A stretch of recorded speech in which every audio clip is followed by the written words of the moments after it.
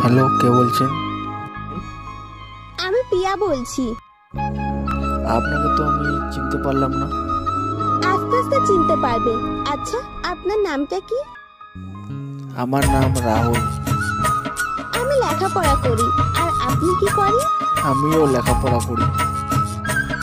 আমি কি আপনার ফ্রেন্ড হতে পারি? নিশ্চয়ই আমরা তাহলে আপনি আপনার শুরু করে বলি। ওকে আচ্ছা আজ তাহলে ফোন রাখছি কাল কথা হবে। জানি তুই